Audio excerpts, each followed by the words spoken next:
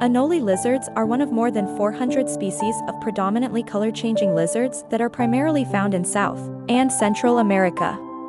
These brilliant green lizards can be seen racing across deck rails and raising their heads above flower pots. Most Anole species have some degree of color variation.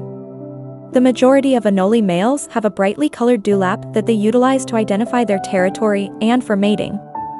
There are around 400 different Anole species, and the Caribbean islands are home to 150 of them. Some types of Anole lizards can grow up to 20 inches long. The Anole species almost always has some physical difference between the sexes, such as, but not limited to, the male having a dewlap. Depending on habitat, climate, and diet, each species of Anole lizard will have a different size and color. Anole lizards are one of more than 400 species of predominantly color-changing lizards that are primarily found in South and